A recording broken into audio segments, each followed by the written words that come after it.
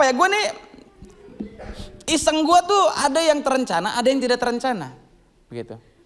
Uh, yang terencana jarang sih, lebih banyak yang tidak terencana. Tidak terencana tuh misalnya begini. Misalnya gue lagi duduk sama temen gue, uh, menjelang maghrib, udah telat sih. Tapi gue waktu itu posisinya pengurus jadi bebas.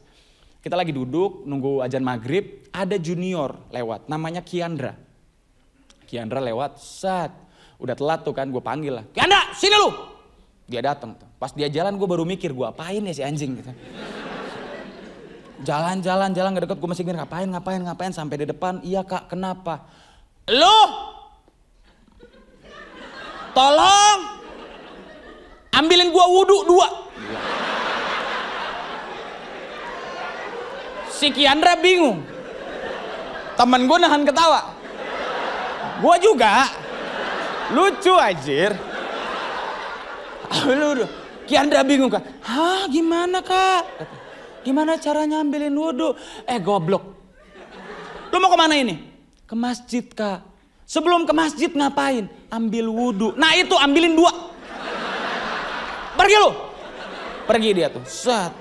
Gua sama berdua temen gua ketawa-tawa oh, gimana ya goblok.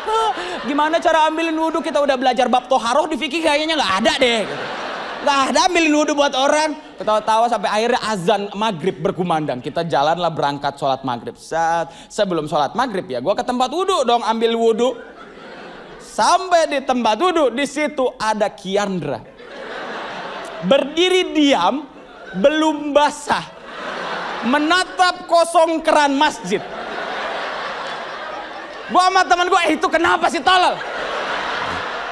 Gue samberin ya, sat, sat. Eh goblok ngapain lo di sini? Kak maaf kak, saya nggak tahu gimana caranya ambilin wudhu. Emang nggak bisa anjing. Soalnya ke masjid biar gue ambil sendiri.